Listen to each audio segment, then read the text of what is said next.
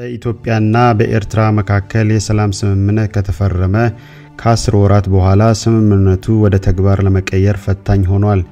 የሁለቱ ሀገራት ተደራዳሪዎች በድብቅ እስከ መገናኘት ደርሰዋል። በኤርትራ ያለውን ውስጣዊ ቀውስ ተከትሎ ድንበሩ ሙሉ በሙሉ ተዘግቷል። ባለፈው ዓመት ኢትዮጵያና ኤርትራ መሪዎች በደረሱት የሰላም ስምምነት መሰረት እየተደረገ ያሉ ድርድሮች ላይ አለመግባባት መከሰቱን ጉዳዩን ለመፍታት አዲስ ጥረት መጀመሩን እየተነገረ ነው። ኢትዮጵያ በወደብ በንግድና በጸጥታ ጉዳዮች ላይ የመግባቢያ ሰነዶች አዘጋጅታ ብታቀርብም ለስድስት ወራት ያህል በጉዳዩ ላይ ከኤርትራ ወገን አጥጋቢ ምላሽ ሳያገኝ ቆይቷል። ሁለቱ ሀገሮች ካልተስማሙባቸው ጉዳዮች አንዱ የአልጀርስ የሰላም ስምምነት አፈጻጸም ሲሆን ኤርትራ ስምምነቱ ሳይውል ሳያድር ተግባራዊ እንዲሆን ትፈልጋለች።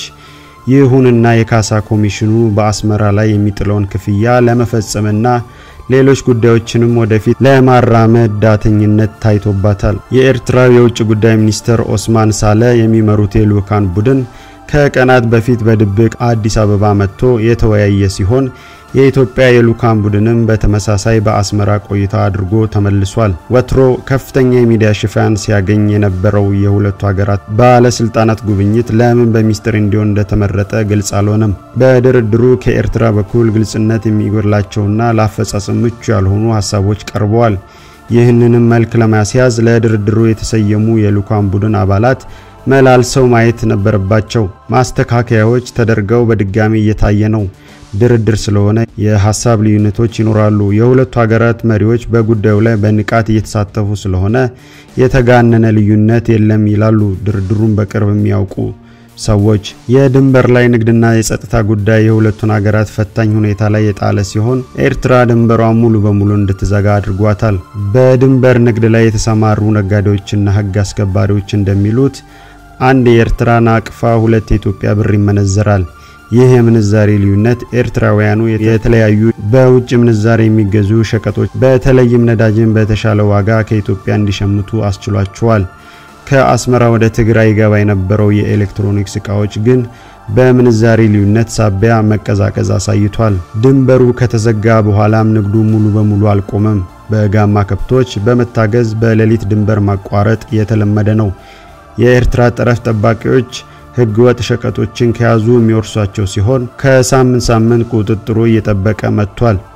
የድንበሩ አካባቢ ጸጥታን በተመለከተ የአስመራ መንግስት የጸጥታ ሰራተኞችን በስውር በማስገባት የመንግስት ተቃዋሚ ናቸው የተባሉ ግለሰቦችን እስከ ማፈንና ከኤርትራ ተሰደው በኢትዮጵያ ያሉ የሀገሪቱ ዜጎች በከፍተኛ ስጋት እንዲኖሩ ያደረገ ክስተት ተፈጥሯል።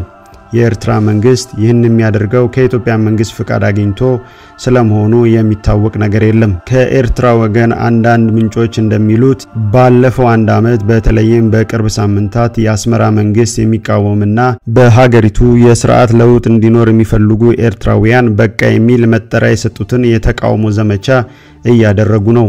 በሱዳንና በኢትዮጵያ የነበሩት ህዝባዊ አመጾች ኤርትራውያንንም እንዳበረታታቸው በፕሬዝዳንት ኢሳያስ አፈወርቂ ላይ የሚደረገው ተቃውሞ እየተፋፋመ መምጣቱን የአስመራ ምንጮች ይናገራሉ። ወረቀት በመበተን የተጀመረው ተቃውሞ አሁን አሁን ይፋዊ ተቃውሞ እስከ ማድረግ ደርሷል።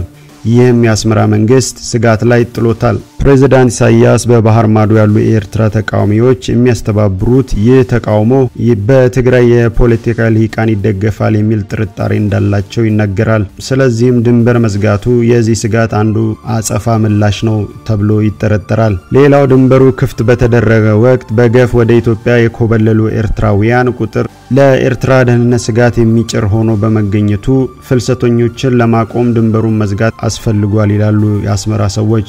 እንዲህ ውስብስብ የጸጥታ ስጋት ውስጥ ያለችው ኤርትራ ሁለቱን አገሮች ወደ አንድ ማህበረሰብ ያሸጋግራል የተባለለትን ስምምነት በቶሎ ተቀብላ ተግባራዊ ለማድረግ አስቸጋሪ እንደሆነባትና ስምምነቶቹ ደረጃ በደረጃ እንዲታዩ እንደምትመርጥ እየገለጸች ነው። ፕሬዝዳንት ኢሳያስ አፈወርቄ ከወራት በፊት ሁለቱን ሀገራት ወደ አንድ ማህበረሰብ የሚያመጣ ታሪካዊ ሰነድ አዘጋጅተናል ቢሉም አሁን አቋማቸውን ከልሰዋል ተብሏል። ከኢትዮጵያ ጋር ማናቸውንም ስምምነት ተፈጻሚ ከመሆኑ በፊት የአልጀርሱ ስምምነት ተተገብሮ የሁለቱ ሀገሮች ድንበር እንዲለይ በርካታ ኤርትራውያን ይፈልጋሉ።